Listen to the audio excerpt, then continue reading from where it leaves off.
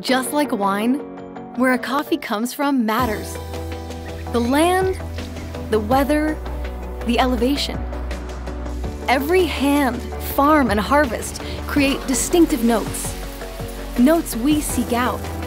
Only a handful become Starbucks Reserve coffees. And among these, even fewer are chosen for our subscribers. Every coffee is a story that will never be repeated, each with hyper specific flavor notes. One small lot coffee a month, shipped to your home within 48 hours of roasting.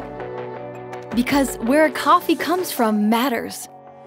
Every way you brew, every cup you savor, every story you discover.